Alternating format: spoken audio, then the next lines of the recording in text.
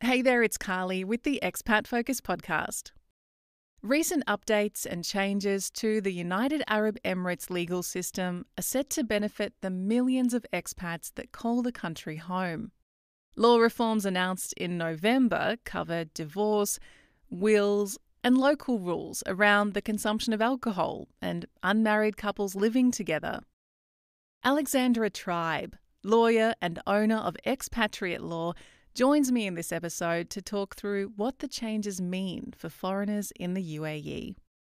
A quick reminder before we get started to head to expatfocus.com for more information, and you can also continue the conversation about these law changes in our Expat UAE Facebook group. Let's go over the key changes that impact foreigners living in the UAE. First of all, Alexandra, how excited were you at, at hearing this news? I was hugely surprised. This is the most amazing development uh, in the laws in the UAE, I, I feel, that has taken place for many, many, many years. It's going to have a significant impact on expats living in Dubai and Abu Dhabi and the whole of the UAE. It will mean that um, laws can be more in line with the foreign laws that people are used to from their home countries. And it covers such a, a wide range of topics as well as, as we can discuss. Yeah, so looking at what I've seen reported, and there might be more that didn't make the headlines. The first one that really stood out to me is foreigners or expats in the UAE can choose to have their personal affairs dealt with according to the law of their home country. And that hasn't been the case until now? Well, it has to a certain extent. So, the previous law in the UAE, the personal status law, allowed non Muslim expats to nominate to use foreign laws in their divorce or, or family law case in the UAE courts. And what law was applied would depend on the type of case that was being undertaken. So, for a, a divorce case, you would use the, the, the law of the husband's home country. And for financial cases, such as maintenance and things like that, you would use the law of the person being protected, such as the child or, or the wife see, seeking maintenance. But what tended to happen is the application of those foreign laws was very difficult unless the parties agreed that the foreign laws would be applied. So the law stated that yes, foreign law should be applied in non-Muslim cases, but only if a list of criteria was were met, and those were think, things like the foreign law could be um, ascertained, and the judges could understand and apply the foreign law. And it all became a very onerous task. And more importantly, the parties tended to disagree as to whether foreign law should be applied. Because for one party, it was going to be beneficial, and for the other party, it was more beneficial to use local, um, local laws. And therefore, we found that foreign laws used to be very rarely applied in the UAE courts especially when those foreign laws were the laws from countries such as England, which applies a statutory plus case law legal system. The volume of law that would have needed to be translated would be significant. The new laws provide real clarity because there is going to be no dispute about which laws should be applied. In the case of divorce and the issues that arise from divorce, such as the financial settlements. The law to be applied is the law of the place where the parties were married. So that's brilliant. It provides real clarity, and I look forward to seeing how this is implemented by the courts. What does it mean for cases, uh, for example, of inheritance or wills? It will depend because the law at the moment talks mainly about marriage and divorce cases and the application of um, foreign laws for those t- type of personal status cases.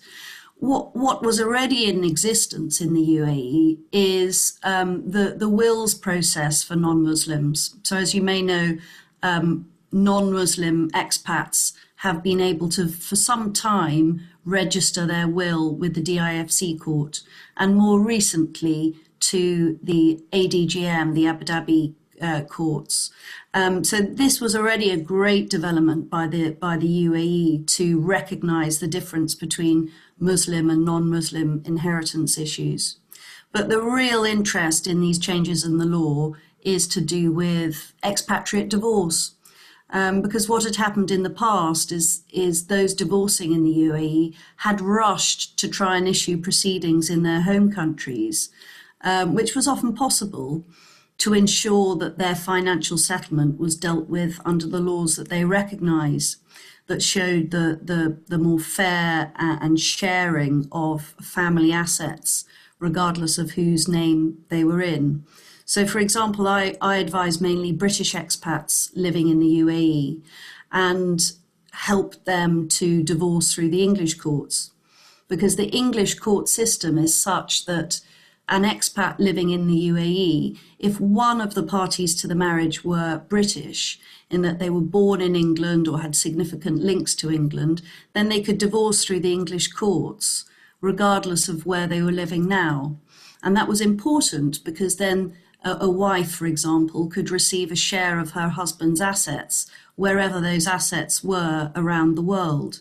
And they could receive generous maintenance for themselves for a longer period of time and, of course, for their children. So the new UAE system will mean that they can try and apply those home country laws through the Dubai courts. And there may be some initial teething difficulties with the local judges getting their head around much different legal systems, but I still feel it's a significant development. And another significant development uh, with this law reform seems to be that unmarried couples in the UAE can now live together. That wasn't always the case. No, that that's come in with these recent changes, and that is a, that makes a huge difference. Uh, I know that the the UAE, particularly Dubai, is very has always been um, very tolerant of unmarried couples living together. And this has been so, especially since there's been an increase, a huge increase in the UAE of expat families. But still, it provides much reassurance to people moving in to the UAE that, that this is now within the law, that they can live together and have their rights recognized as an unmarried couple. Mm, I'm sure we've all read those horror stories of, you know, a couple being arrested on the beach for kissing or or that sort of thing. So I can imagine if you're wanting to live with someone and you're not married in the UAE uh, previously, that would have been a bit of a difficult one to to navigate and make sure you're not accidentally breaking the law. Yes, exactly. But I think expats will still need to be conscious that this is a Muslim country and um, the culture is much, much different. And they need to be respectful of this Muslim country, even though it is increasingly tolerant to um, the Western ways. There needs to be some some respect of the local culture, so that everyone can get along together. Alexandra, you've had first-hand experience living uh, in the Emirates yourself. How have you seen expat life there evolve uh, over the years, and particularly now with this law change? What does that really signify to you about how this market, how this country is uh, is adapting? I first moved to Dubai in 2007, and then there were a significant number of expats, but nothing like the numbers that there are today. And I see, I saw Dubai really grow and flourish over the years with um, the Dubai Mall being built and lots of new housing developments. And it was incredible to see how Dubai adapted to this shifting and growing expat population. And there have been a, a number of changes of law during the time I was in Dubai and afterwards that have been developed to take into account this increasing expat population. And I think these new changes of the law show a shift in uh, the approach of the UAE in terms of recognizing that the expat population is a long term population in Dubai, um, and uh, it, it, shows a, a, increasing prosperity and uh, people's faith in the region um, as a, a, prosperous place to live. So I, I'm hugely encouraged by it. And do you expect that with these latest law reforms, the UAE will become more attractive to expats, foreigners who may have been hesitant to move or set up businesses there in the past? Absolutely, I do. I, I think it will take some time to see how these cases play out in the courts and how matters are dealt with. But I think there's been so many new changes in the way that the Dubai courts and the DIFC courts uh, approach investment and um, uh, business dealings uh, as a whole.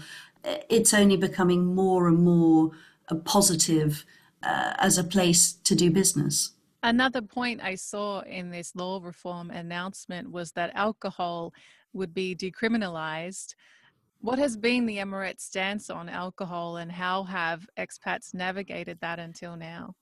Um, previously, you needed to have a, a, a booze license, they called it, to um, purchase alcohol if you were a non Muslim.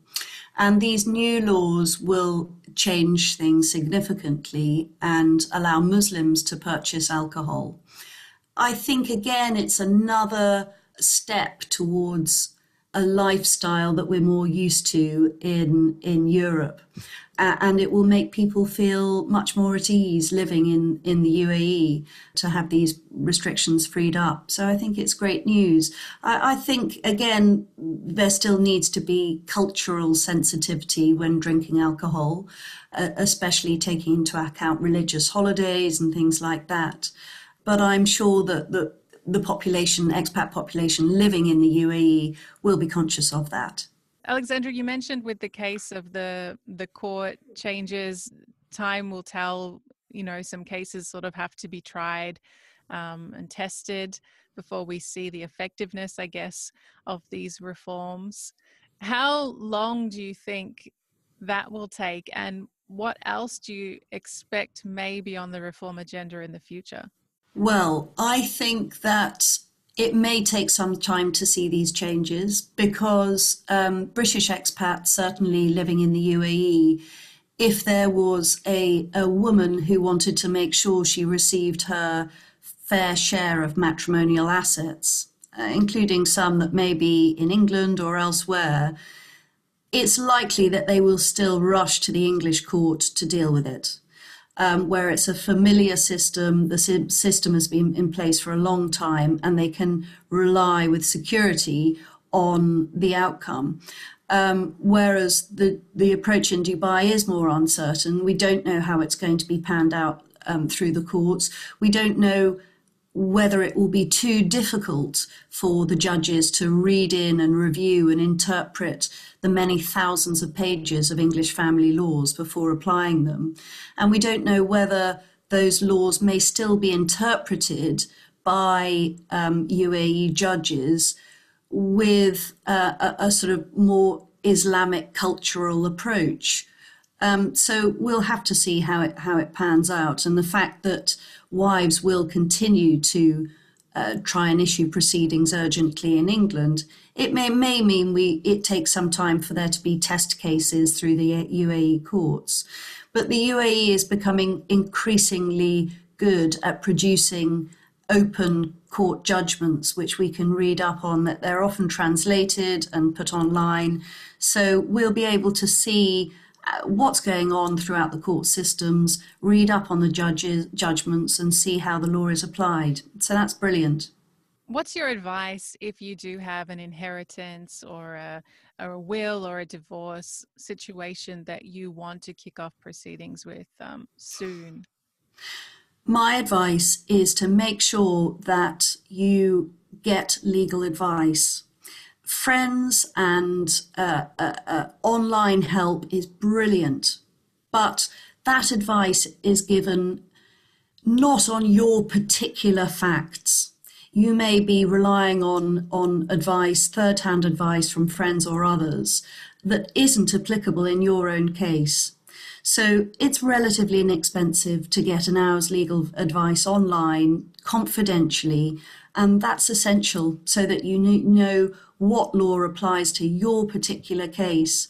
There's so many people that I speak to who have no idea that they have a right to divorce through the English courts. They may not be English themselves, but they may, re- without realizing it, have established the, the correct links to be able to start proceedings in England. And that may be for divorce or for maintenance or financial settlements, or it may be for children related disputes. There are many ways to deal with things in, in courts other than in the UAE. And it's important to get advice in all potential jurisdictions so that you can weigh up the pros and cons and work out what is best for your case. And importantly, I'm afraid time is of the essence. Usually, the person who issues proceedings first is the one that is able to proceed with their case in that chosen jurisdiction. Uh, and if your spouse is the one to start first, it may not be in your preferred jurisdiction. And then you'll have to go along with that jurisdiction choice and that choice of law, or face uh, what can be a costly jurisdiction dispute.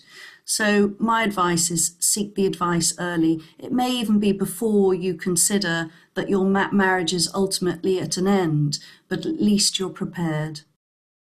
That's it for today. Be sure to check out our other podcast interviews, including my chat with Alexandra about three common legal challenges for British expats.